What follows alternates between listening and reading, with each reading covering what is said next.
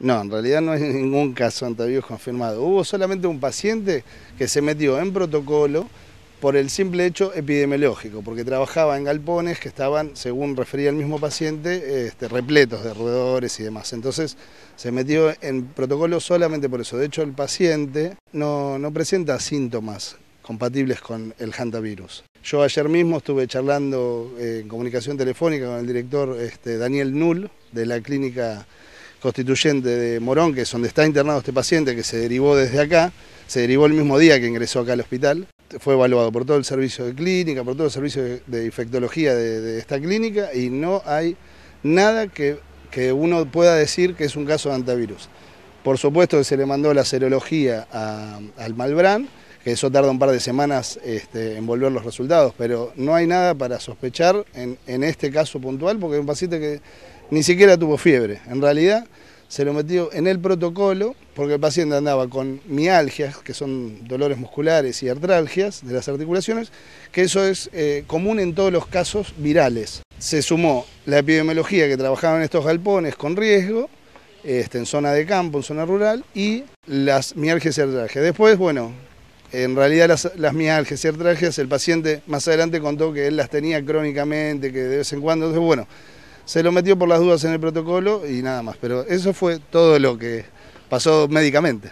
Eh, él ingresó el lunes y ante la duda, para, para, ingresarlo en el protocolo, como tenía obra social, se lo deriva a, su clínica correspondiente. Sí, sí, el paciente está totalmente estable, no no, como te digo, ayer mismo hablé con el director, el director no solo lo hizo evaluar por el servicio de, de clínica médica y de infectología de la clínica constituyente de Morón, sino que él mismo lo vio al paciente y el paciente es un paciente totalmente que no presentaba prácticamente síntomas, ¿se entiende?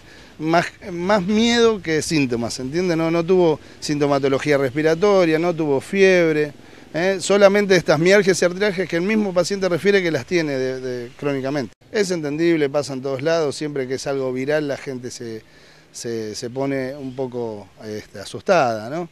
Es normal eso. Eh, a la población que se quede tranquila, porque estamos dentro de los números normales eh, en todo el país, es una, patología endémica, no es que hay un brote eh, epidémico ni nada. de hecho, nosotros acá en Cañuela es el único caso sospechoso, ya te estoy diciendo que podríamos casi confirmar que no es.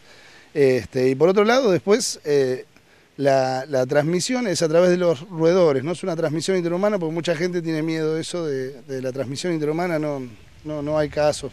No es eh, hay algunos casos, pero que no tienen que ver con este eh, virus de esta región, eh, tiene que ver con virus de otras regiones del sur de la, Argentina. Sí, sí, sí, trabajaba en una zona rural con galpones que él había referido haber visto roedores. por eso se, se lo metió en el protocolo, no por otra cosa.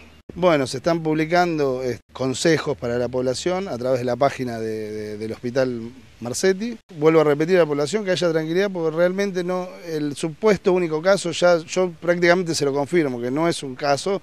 Obviamente, científicamente uno lo puede confirmar cuando vuelvan los resultados del Malbrán. Ya le digo que no, no, no, hay, no hay nada para asustarse. Esos resultados no vuelven acá, vuelven a la clínica donde está internado este, y aproximadamente tardan dos semanas. Pero te repito, el paciente no tiene clínica, la clínica es soberana en un paciente, los estudios son para ayudar, pero la clínica es soberana, es importantísimo. Bueno, lo que hay que tener en cuenta, la transmisión es a través de las heces y orinas y secreciones del roedor, este, el silvestre, el colilarga. ¿eh?